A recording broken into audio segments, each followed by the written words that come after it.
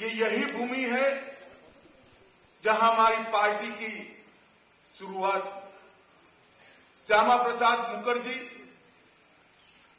यही बंग भूमि के सपूत जिन्होंने भारतीय जनसंघ की स्थापना की और आज उन्होंने बिया हुआ एक बीज एक बीज आज वटवृक्ष बनकर समग्र विश्व की सबसे बड़ा राजनीतिक दल बनकर हम सब, और एक करोड़ का लक्ष्य हमें जो दिया है वो देश भर में जब कार्यकर्ता सदस्यता अभियान चलाने जाते हैं, तब हम हमारी पार्टी की लोकतांत्रिक परंपराओं का निर्वहन करते हमारी पार्टी में सदस्यता किसी को आजीवन नहीं होती। भारत को महान बनाने की प्रक्रिया में जुड़िए। और सोनार बांग्ला बनाने की प्रक्रिया में भी जुड़िए।